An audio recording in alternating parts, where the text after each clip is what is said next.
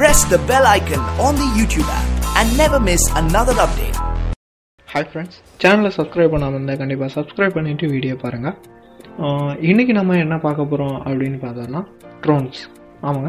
Drones அப்படின்னா ஆளில்லா விமானங்களை தான் ட்ரோன்ஸ் அப்படின்னு சொல்கிறாங்க சமீபத்தில் எடுத்த உலக பொருளாதார கணக்கெடுப்பின்படி நம்ம வந்து பதினைந்து மில்லியன் மரங்களை வந்து வெட்டிகிட்டு இருக்கோம்.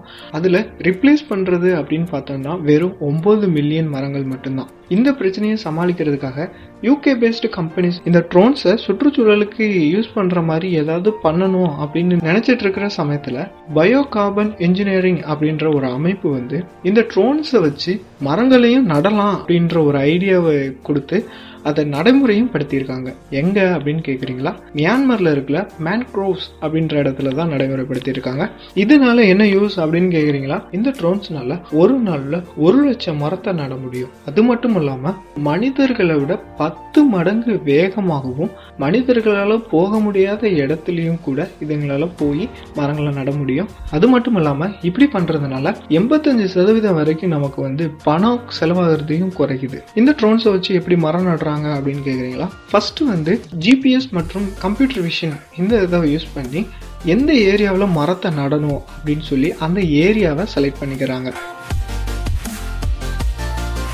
அதுக்கப்புறம் இந்த ட்ரோன்ஸ் போகிறதுக்காக ஒரு வரையறுக்கப்பட்ட பாதையை வந்து அவங்க ரெடி பண்ணுறாங்க இது எதுக்கு அப்படின்னு கேட்டோன்னா ட்ரோன்ஸுக்கு எந்த ஒரு பாதிப்பும் ஏற்படாமவும் தடைகளை வந்து அவாய்ட் பண்ணுறதுக்காகவும் இந்த வரையறுக்கப்பட்ட பாதையை யூஸ் பண்ணுறாங்க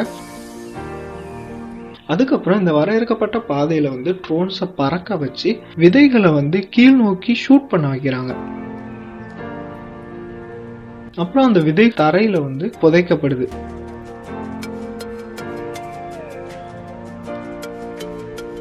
அதுக்கப்புறமா இந்த விதைகள் வந்து மரங்களாக வளர ஆரம்பிக்குது. ஓகே ஃப்ரெண்ட்ஸ் இந்த தகவல் உங்களுக்கு ரொம்ப யூஸ்ஃபுல்லாக இருக்கும் அப்படின்னு நினைக்கிறேன்.